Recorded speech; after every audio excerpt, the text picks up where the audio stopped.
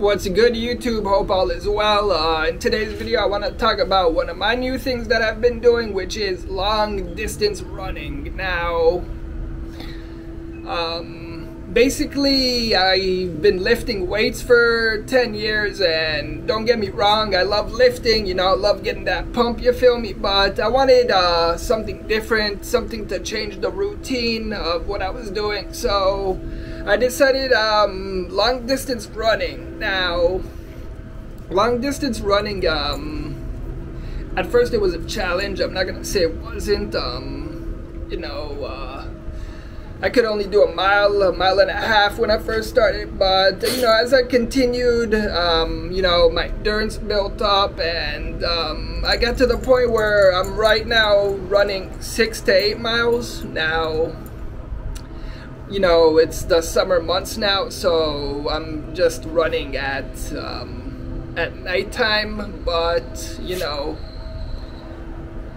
running uh, in the extreme heat conditions not recommended. You know, there was a day where I was running outside in 100 degree weather, and um, yeah, wouldn't recommend that. But yeah, you know, what I'm trying to say is, you know, if you're stuck in a rut, you know, you're kind of bored of your routine, whether it be work, uh, fitness, whatever you do, whatever you enjoy to do or have to do, you know, sometimes you want to switch it up, you know, switch up the the flow, switch up the the you know the routine, and it can just uh, you know really spice things up. Um, so yeah, you know I mean, I'm not uh, training for a marathon or anything like that, but um, yeah, I would recommend uh, running for sure.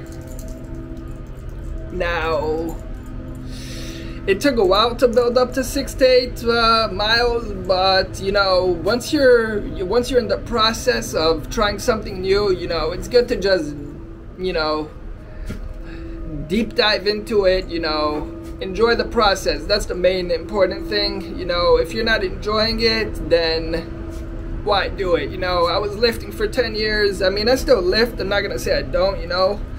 Still get a good pump, you feel me? But, you know, I'm the, the whole new challenge of running long distance is really just, you know, switch things up in a good way and that's what we're trying to do on Spaceboy TV we're trying to reach new frontiers enjoy the process and just get better at whatever it is we're trying to do now.